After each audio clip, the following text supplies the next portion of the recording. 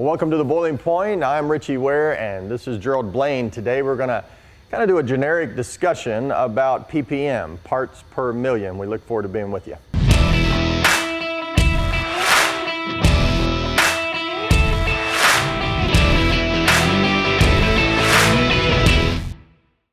All right, well, Gerald, just want to talk real quick about ppm. I thought about it the other day, and it's like you hear that term all the time, um, and really just thought, let's just chat about what it is and you know how it's made in, in, inside of a combustion uh, burner. Yeah, yeah.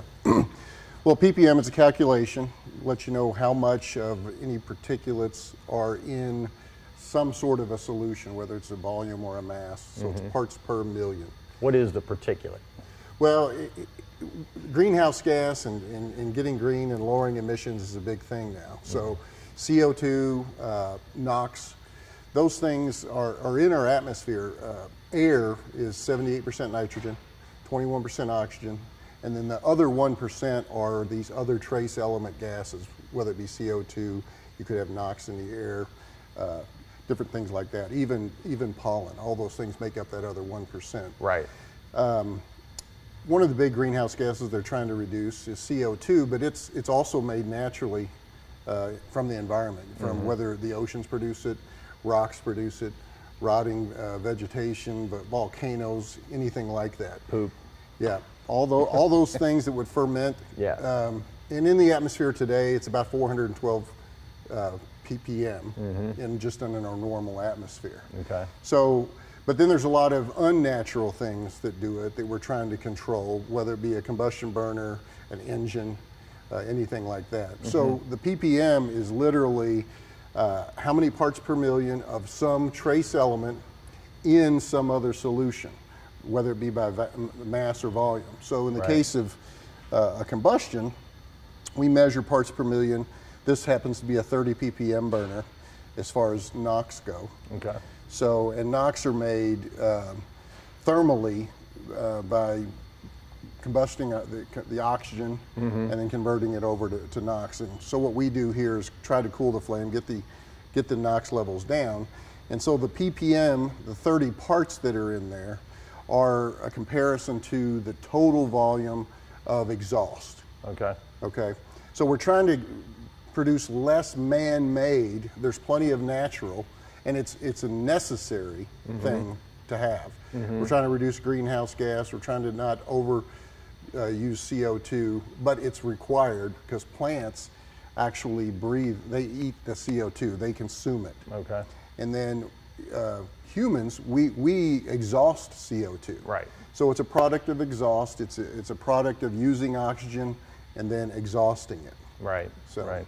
Well, as, as far as the burners go. Okay, mm-hmm. when they when we started saying, hey, let's get down to 30 ppm, what were we actually doing when we were taking older burners and using the burner to get it to 30 30 ppm? Well, the way this one operates is we pull back flue gas. Okay. So it sounds contradictory, but what it actually does is cools the flame. Okay, which is FGR, so right. flue gas recirculation is what right. that is. So we're actually cooling the flame to control the thermal NOx levels. Mm-hmm.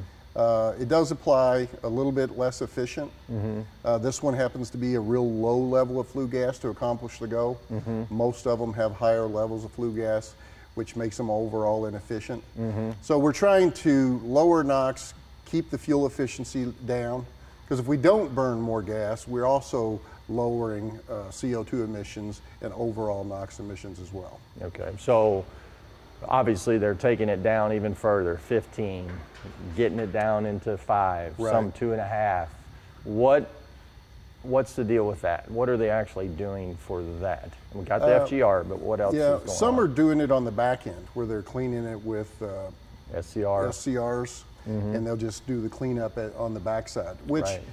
to some degree is is better because we're not uh, making this more inefficient right. most low nox technologies are quite a bit inefficient. Okay. So you use more gas overall, which is kind of contradictory to the plan. Right. Uh, so we've been trying not to do that on the front end, uh, but on the back end, they do clean up with an SCR, and, and that's how they do it. The big coal plants, they have lots of different systems for cleaning off all the uh, emissions coming out there. Right, and, and to actually take it down into the single digits, though, you're really cooling, cooling the flame.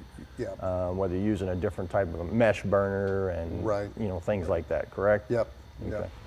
Well, appreciate Gerald hanging out with us. Now, if you'd like to learn a little bit more about PPM, there's a couple ways you can do it. One, you can actually come to Boiler University and take our, our, our classes. We have some 101s, 201s, com- combustion class, as well as you can do um, some online classes. Another is that you could go to uh, Boiler 2022 and it's coming up in April and make sure that you go uh, and sign up and register and get down to that down into uh, Dallas, Texas. Um, be a lot of great information down there, the seminars as well as just everything about steam and, and, and hot water, of course. A lot of boiler manufacturers there, rental companies, that type of thing, that's going to be there. Well, like us on Facebook and follow us on Twitter. And if you don't mind, subscribe to our YouTube channel. And as always, please share those videos. And we'll see you next time on The Boiling Point.